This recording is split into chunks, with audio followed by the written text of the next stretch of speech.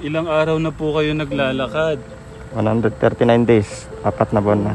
Saan ba kayo galing? Pagudpod, Ilocos Norte, tapos Sor, La Union, tapos Pangasinan. Tapos Tarlac, Pampanga. Marami nang tumulong sa atin, wala man nangyayari. Lakad na lang tayo kahit kung sinong hinto pa dyan. Huwag na natin pansin. So ba't ayaw niyong pahatid? Gusto ko namin kayong ihatid para hindi ho kayo na mahirapan. Kahit na wala naman pong tumulong sa amin, okay lang naman po sa amin. So pinaninindigan niyo po na talagang kaya niyo po. Yun po yung ibig niyong sabihin, di ba po kanina?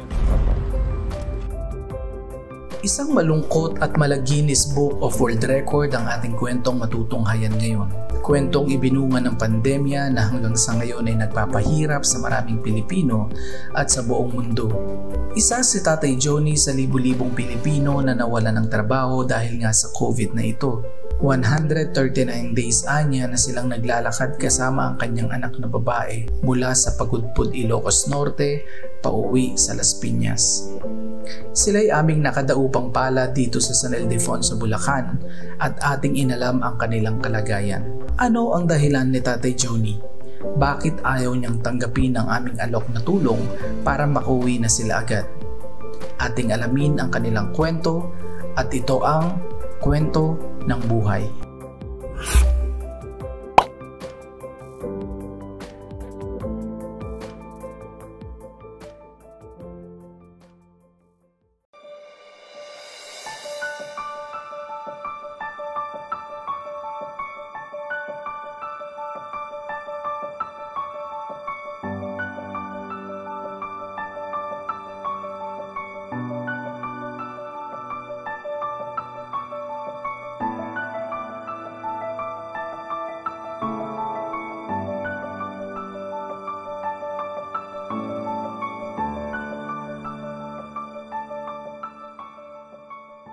Tatay, ano pong pangalan tatay? Johnny po, Johnny? Johnny Fortes, Cortez. Ilan taon na po kayo? 35. 35. Ano pong pangalan ng kasama niyo? Pen, pen po. Ha? Pen, pen. Pen Pen. Ano niyo po siya? Anak po. Ah, anak. Ate, ilan taon ka na? 18 po. 18. So tanong ko lang, Tay, saan kayo po ba papunta niyan? Piñas pa po. Las Piñas. Saan ba kayo galing? Sa Ilocos, Pagudpod. Ha? Pagudpod, Ilocos Norte. Ilocos Norte pa dyan? Galing? Kuya, napansin ko lang, parang ano ho ba yung mga ano nyo? Ano ho ba yung kalakal o... Gamit po namin lahat yan. Wala pong kalakal yan. Hmm, Mga gamit ng gamit niya tsaka yung gamit. Eh dito naman sa kusina yung mga kaldero, mga pan. Bakit po lilipat kayo ng bahay? Hindi po, wala na po ako trabaho doon. Bali, naabutan kami ng lockdown. Nung March pa kami umalis doon, March 17. Ano pong trabaho nyo doon? Welder po. ilang araw na po kayo naglalakad? 139 days, apat na buwan na. Diyos ko po, Jun. Kaya? March 17. Pa- Paano yung sa pagkain nyo? Okay naman po kayo sa pagkain. Naubos na nga po yung budget namin. Eh. Hmm. Yung sahod ko, yun lang ang kinan namin doon sa maintenance sa bike. Anong na. sabi po nung boss po ninyo? Bali, sinauran po ako ng kwan. 8 plus, binili po namin ng bike para hindi siya naglalakad. Nagluluto na rin po kayo kung saan po kayo So, datnan. ito po yung kalan namin. Paluluto ko lang ang pagdating ninyo. Nakatapos. Saan Nagluto po ako kayo ng kape. natutulog? Minsan sa barangay, minsan sa police station. Tatay, tanong ko lang, nasan po yung asawa nyo? Nasa Mindanao po. Isa lang ho ba yung anak nyo? Tatlo. Nasaan po yung ibang anak nyo? Nasa Las Piñas yung iba. Yung dalawa. Las Piñas. Ba't po sila nagpaiwan? Mga bata pa mo. Hmm. Kasama niyo po si Penpen sa pinagtatrabahoan. Um, pumunta po siya nung kwan doon, nung, nung January. Tapos hindi na siya na, naabutan siya ng lockdown. Tapos nung magsara na po yung, yung pan namin yung tatrabuhan. Kukuha sana ng sahod nun eh. Kaya lang hindi nakakuha. Yung nakasama ko na siya pa uwi. Si ate naman ang tanungin ko. Nag-aaral ka ba ate? Hindi. Ah, Hindi na. Pagbisita mo kay papa mo, eh, naabutan ka lang pala ng lockdown din, no? Opo. So, okay ka lang ngayon? Opo. Kung kasi wala pambiling ko eh. Ha? Walang pambiling, meron po siya, dinadat na siya ngayon. Wala po siyang pambiling. Ah, Halimbawa tayo maliligo, Sa mga lilinis kwan ng po. katawan, saan nyo po yung Sa ginagawa? mga may kunwari, madadaanan namin tulay o kaya yung mga creek. Yung kayo maliligo. Kaya sa pag-alis kami ng barangay, pinapaligo kami ng barangay. Yung damit nyo po, meron o kayong pampalit ng damit. Ha? Meron po. Po yung, isang plastic na basa, kaya tinapon niya. Kunti na lang po yung damit. Nabasa nung malakas yung ulan doon sa, dito sa Kabyaw, may bisiha, sa Arayat. Ito kuya, gaya nito, kasama nyo yung anak nyo. Eh, kung umuulan, eh, naabutan o kayo ng eh, babae pa naman o. Wala pong magagawa, ganun po talaga kaysa maghirap po sa daan. Hmm. Wala po ba kayo mapakiusapan kahit mga truck na sasabay, makikisabit po kayo? Meron po dito sa Pampanga, pasasakay sana, kaya lang ayaw ng mga tracking.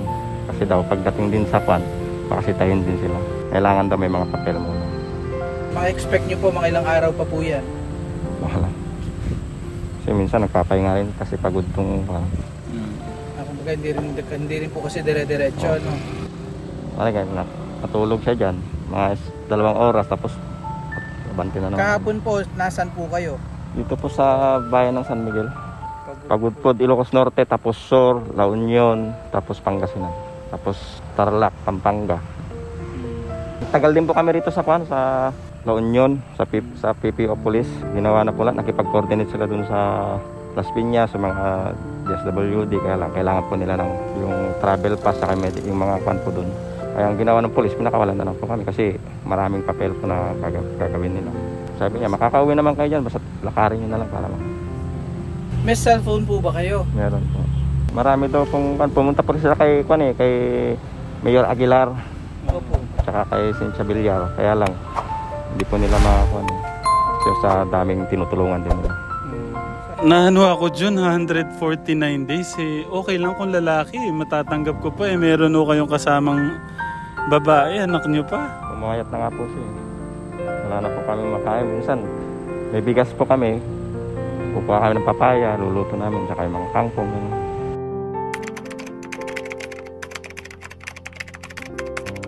May malaki lang ho kaming problema guys.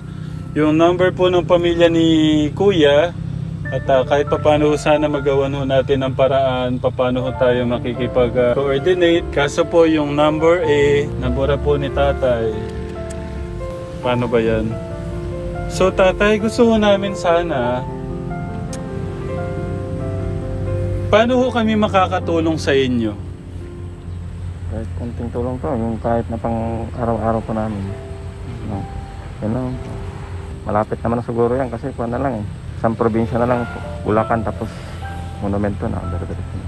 Hindi, ganito po. Gusto ko kasi may magawa ho kami ni June kahit pa paano. May naisip ako, Kuya Ram. Oh. Naiisip mo ba ang naiisip ko? O naiisip ko ba ang nasa isip mo? Ang naisip ko, Ano? iuwi natin sila, tapos mamaya ihatid natin sila sa pick-up. Pwede. Mm Ganun na lang, no? Ganito, sige, tatay. So, siguro magagawa ho natin ng paraan. Ah, iiwan ko kayo kay kuya sa kasama po namin. At ah, puntahan lang ho namin yung isang mission ho namin. Gagawin ko ho mabilisan para po maasikaso po kayo, no? At ah, kahit papano, tsaka meron ho tayong bilin ng kahit papano yung makadala ho kayo ng maiuwi nyo sa pamilya po nyo, no? At ah, kung pwede, makiusap na lang tayo kuya kung saan sila pwedeng maligo dito, no? Para presentable naman sila sa pag-uwi nila. At ah, tatay, sige po, balikan po namin kayo, no? After mission namin, balikan po namin at para mahihatid po sila, no? Wait lang, o- Oo. okay lang ba kay tata yun? Mukhang gusto. Hindi po, meron po kaming pickup. So gamitin ho namin yung isang sasakyan ng tatay ko para maiuwi na po kayo sa inyo, no? Parang malungkot. Gusto niyo pa po atang maglakad. Tay, ano ba? Masaya ka ba o ano? Si ate, ano masasabi mo ate? Ah, makakauwi na po kami sa amin. Si Makikita papa po. mo parang may iniisip. Tatay, anong iniisip mo? Ano ba yan? Tears of joy ba yan? O...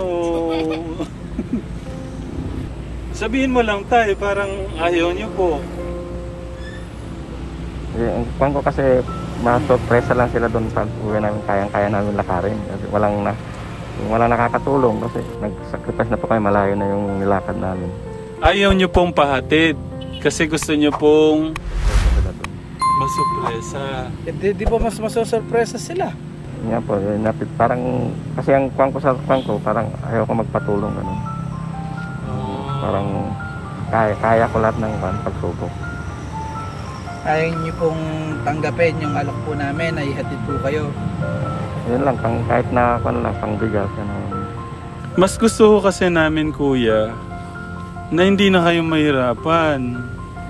Mas mabilis po yung ano natin. Kumbaga, si ate ang iniisip ko kasi yung anak nyo. Babae po yung kasama nyo. Ito, na-enjoy, na-enjoy naman niya siguro kasi sabi niya sa atin, marami nang tumulong sa atin, wala man nangyayari. Lakad na lang tayo kahit kung sinong hinto pa dyan, huwag na natin pansin. Ikaw, sige ate. Pakiusapan mo si tatay na ihatid namin kayo. Atid naman daw pala tayo eh. Ano? Po. Parang ang dating kasi kay tatay June, Nadala mas, na. Hindi, hindi siya nadala. Parang na-enjoy nila yung paglakad. Tama po ba ako? Tsaka hindi po yung paninindigan ko po na pan. Kaya ko ito. Ah. Hindi naman po dahil nadala po kayo na kunyari may tutulong tapos hindi naman po pala. Ganoon din po yung sa pan po kasi sa Pangasinan tsaka sa La Union. Sinakay lang kami ng mobile ng pulis. Ito Mm. dalawa. Tapos binagsak kami sa kabilang bayan. Tapos ganun din dito sa pan. Pangasinan sinakay din kami ng mobile. Bagsak na naman. Mm. Tapos dito sa San Fernando, Pampanga, kinon kami ng sasakyan na malaki. Tapos binaba kami rito sa Arayat. So, kuya, ganito na lang po. Bigyan ko na lang ho kayo ng panggastos nyo o ihahatid po namin kayo. Pwedeng siya na lang po yatid tapos ako na lang magpayo. Kariton. Mm. Di para Hindi makauwi pwede ka na. yun, tay. Pwede ba yun yung anak nyo lang, kayo may iwan? So, ba't ayaw nyong pahatid? Gusto ko namin kayong ihatid para hindi ho kayo na mahirapan. At nawala naman po tumulong sa amin, okay lang naman po sa amin. So, pinaninindigan nyo po na talagang kaya nyo po. Yun po yung ibig nyo sabihin. Di ba po kanina? Opo. Kaya lang po iniisip ko tong anak nyo. Kaya po namin siguro yan. Pero ako, ang puso ko eh, nahirapan po akong nakikita yung anak nyo. Kasi lalong-lalo na 149 days si ate naglalakad. Naglakad do siya ng ganong katagal. So okay lang ba sa'yo yung desisyon ng papa mo ate? Opo. O sige, hindi ko kayo mapipilit. Pero ganun pa man eh, tanggapin mo na lang to, no? Pangdagdag, panggastos nyo ni tatay, no? At ah, yan, at saka ano, mag-ingat kayo, no? Gusto ko man eh, ayaw ng papa mo. Eh, gusto niyang panindigan yung kanyang ah, kung ano man ang sinimulan, parang ganun kasi ang damdam ko eh. Hindi ko masasabing proud ako kasi ang iniisip ko tong anak niyo, parang ayaw niya siyang ah, ma-rescue agad. Pero tatay, ingatan niyo tong anak niyo, no? Doble-dobling ingat ha. Kasi ayaw ko na lang maano na marinig sa ano na nasanggi kayo ng ano, no? Sige po, salamat po sa pagmamahal sa anak niyo. Kukunin namin yung contact nyo or ibibigay din namin yung contact namin. Mm. Para kung Baka ano- magbago ho yung isip niya, tatay. Oo. Ganun At saka lang. kung mayroon may mangyari mang wag naman sana na hindi Ah. maganda, pwede nyo kaming tawagan. O, No? ganun na lang tatay. So, yan guys, iniwan ko na lang po yung number ko kila tatay at kila ate.